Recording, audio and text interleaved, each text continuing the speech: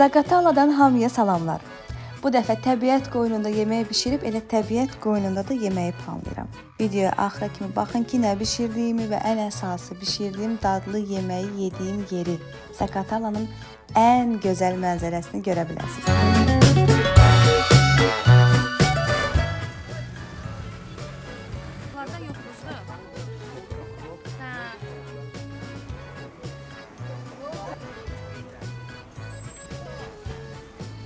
Zaqatalanın mərkəzində yerləşən bazardan ən təzə, dadlı meyvə tərəvəzləri seçib alıram.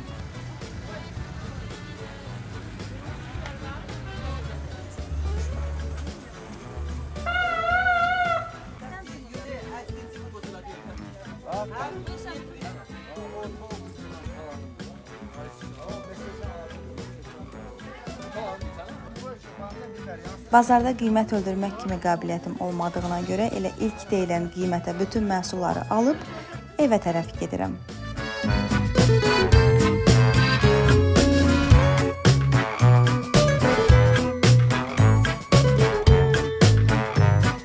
Yolda biraz kameraya pozalar verməyi də yaddan çıxarmıram. Yubanmaq üçün əsaslı səbəbdir.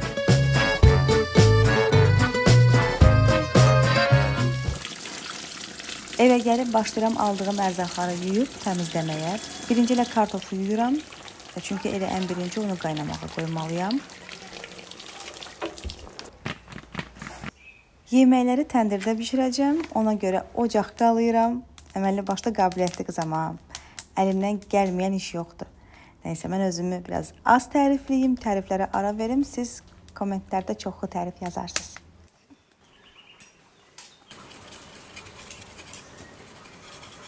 Mən keçirəm yuduğum kartofları soyub, doğrayıb, daha sonra qazana atıb, üzərinə su doldurub, duzunu, istiotunu vurmağı unutmadan közün üzərində qaynatmağa.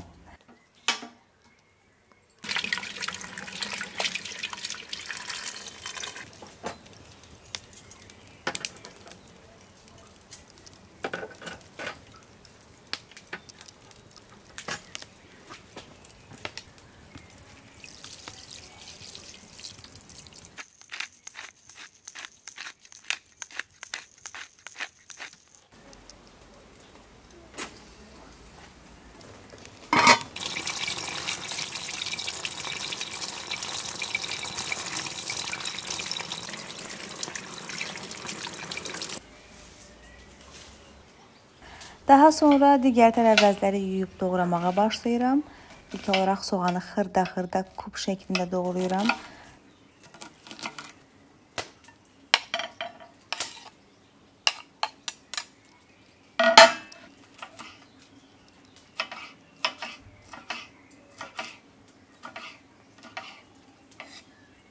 Yaşıl bibəri də təxmini eyni ölçüdə doğrayıb soğanın yanına yığıram.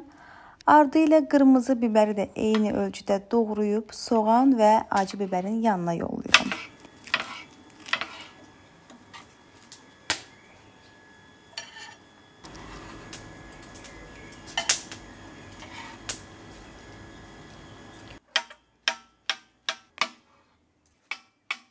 Keçirəm göbələyi doğramağa.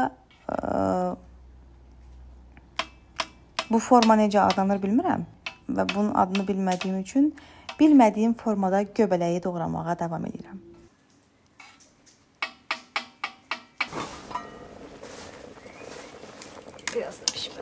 Kartofun hələ bişmədiyini görüb e, toyuğun sinə ətini kub-kub doğrayıram.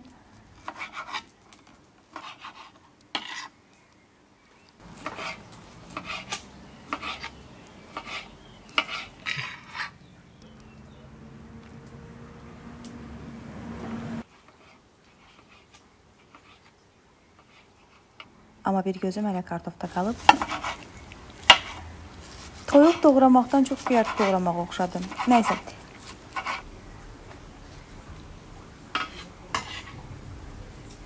Hmm.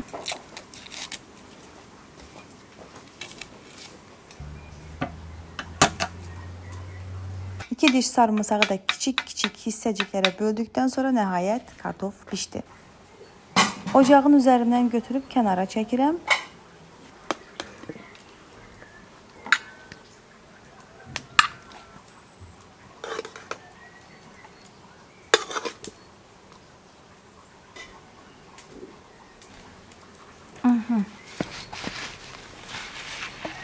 Ocaq hələ lazım olduğuna görə sönməsinə icazə vermirəm.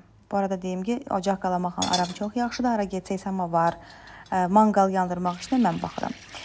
İndi də sönməyə qoymadığım ocağın üzərinə başqa bir tava yerləşdirib kərə yağını Yağ da yaxşı qızdıqdan sonra bayaq doğradığım toyuğun sinə ətini əlavə edib qızardacağam.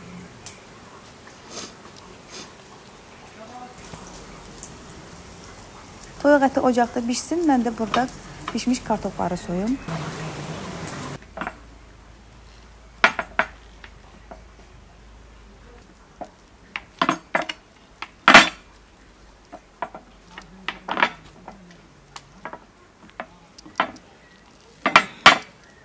yup-yumuşaq, pambıq kimi bişən kartofları yaxşı-yaxşı əzirəm. Üzərinə kərə yağı əlavə edib yenə əzirəm.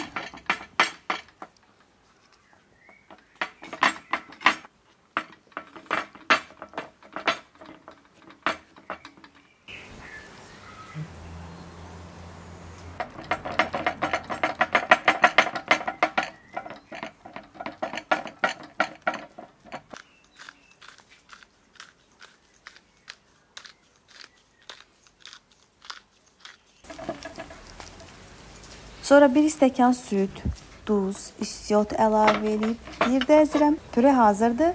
Dadına baxmasaydım olmazdı.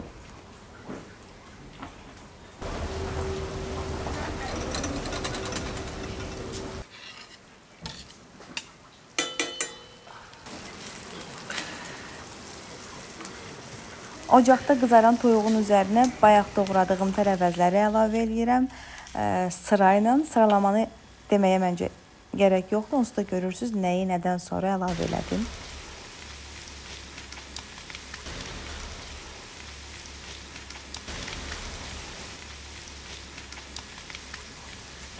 Duz istiot da əlavə eləyəndən sonra Raman yeməyi bir-iki estetik plandan çəkmək istəyir. Nə dərəcədə bacarır özünüz qiymət verin. İndi abala o yeməyi niyə o hala salırsan deyiləcək məqama gəldik çatdıq. Və ikisi də bişdi. Qoy yan-yana ver də nə haqqqa verirsən kimi deyiləcək sözləri hal-hazırda eşidirəm, amma özümə eşitməməzliyə qoyuram və davam edirəm.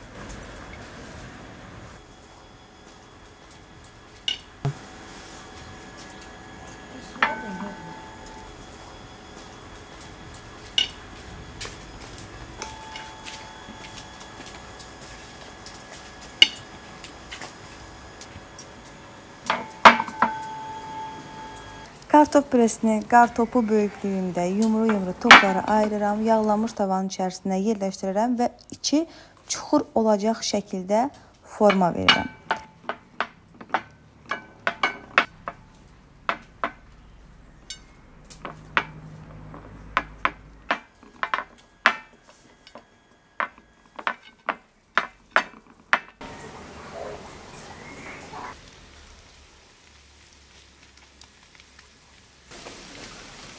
Toyuq və tərəvəzlər vaxtında bişdi, elə onları da ocaqdan götürüb forma verdiyim pürenin içərisinə yerləşdirirəm.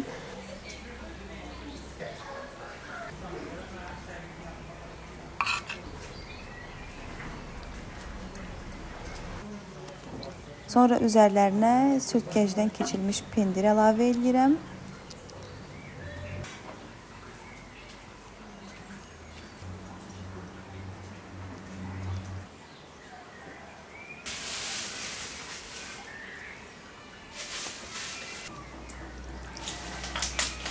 Ən sonda 3-4 qaşıq tomat pastasını su ilə qarışdırıb tavaya əlavə edirəm.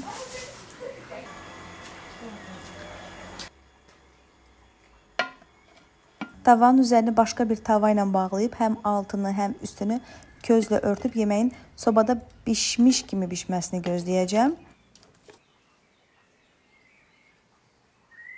Və budur, yemək hazırdır. İndi servis eləməyə vaxtıdır. Yemək yemək mərasimini isə videonun əvvəlində qeyd elədiyim kimi Zakatalanın ən gözəl, ən göz oxşayan məkanlarından biri olan lavanda tarlasında eləyəcəm. Sin pensarlo estoy adentro Dentro de tus pensamientos Sabes que es un privilegio Acercarme hasta tu cuerpo. Sufrimientos. Prende lo que vamos lento. Uno a uno cada beso.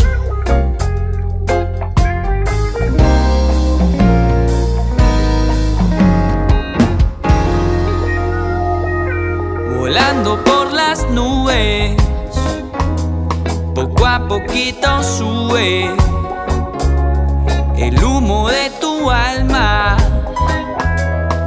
de la marihuana. Volando por las nubes, haces que recalcule. Sona qədər izləyən hər kəsə çox təşəkkürlər. Öpürəm, qucaqlayıram, bağrıma basıram. Kanala abunə olmağı yaddan çıxarmayın. Abunə olmayanlar.